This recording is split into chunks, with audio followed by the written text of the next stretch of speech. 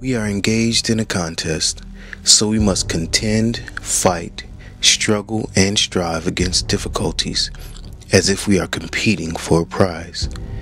We must endure and carry on through hardships, suffering patiently without yielding. Remain sleepless, keep awake and watch, be circumspect, attentive, and ready, exercising constant vigilance, maintaining a wakeful frame of mind as opposed to listlessness a state untouched by any slumberous or beclouding influences, and thence one that is guarded against advance of drowsiness or bewilderment, wary against spiritual dangers and beguilements.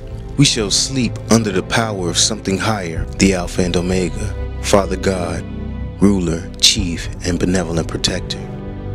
We were bought and redeemed with a price. Christ purchased his disciples by the shedding of his blood. Because we have been purchased, we shall be withdrawn from the earth and its miseries, and from wicked men. We shall be in the assembly of the elect, a collection of men in the congregation where those who have not washed themselves cannot eat.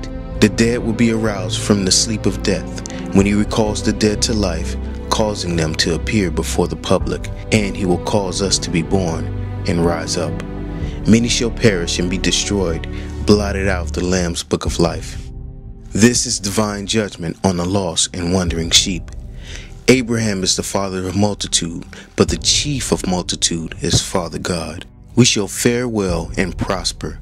Things will turn out well for us, and we will receive a commendation. He will say, Well done, my good and faithful servant. Enter ye into my rest. For our benefit and advantage, we will go from being clothed in our earthly body to being clothed with glory. Who is able to withstand God? No one. What think ye, that he will not come? It is certain, inevitable, established beyond doubt or question, indisputable and definite. We are a kind of first fruits of his creatures, and with a certain fearful expectation, we await someone of importance, some eminent personage, something extraordinary. For this very reason, those who believe, though uncircumcised, will go from being clothed in our earthly body to being clothed with glory. We shall experience things which cannot be expressed in words. We shall hear things which cannot be uttered when the Most High speaks to us, disclosing his thoughts. These are the utterances of Yah.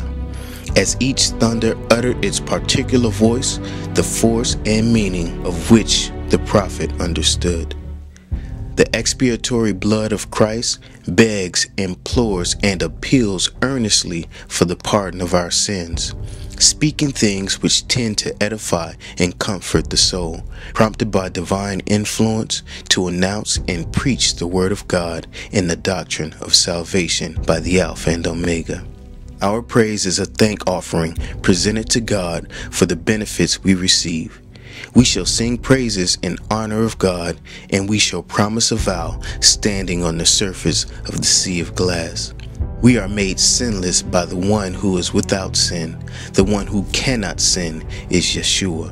Even though at times we may miss the mark and sin, do not wander from the path of uprightness and honor.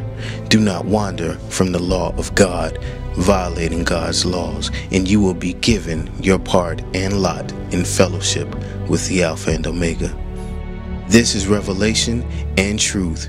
It is light with the brightness of the light of fire we must let our light shine as the brightness of the sun. Yeshua will light us up, causing our faces to shine because we are imbued with his wisdom. The Antichrist, the adversary of Messiah, the most pestilent being, will appear just before the Messiah's advent. What ye have heard concerning Antichrist as about to make his appearance just before the return of Christ is now fulfilled in many false teachers, most worthy to be called Antichrists.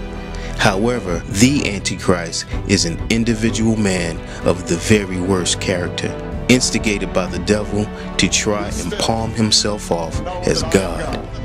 Christ is the anointed Messiah, the Son of God, who is Yeshua, Jesus, who by his Holy Spirit lives in the souls of his followers and so molds their character that they bear his likeness, a mind conformed to the mind of Christ. He shall anoint us in doing his disciples with the gifts of the Holy Spirit. He will touch us with his hands, putting clothing upon us, and because we have earnestly prayed and petitioned him, he will furnish us with what is needful. He is our help. God is present with us, protecting, aiding, upholding, and preserving us through his might and power. They will open a gaping opening, a gulf or chasm, a deep opening in earth's surface. This is the abyss.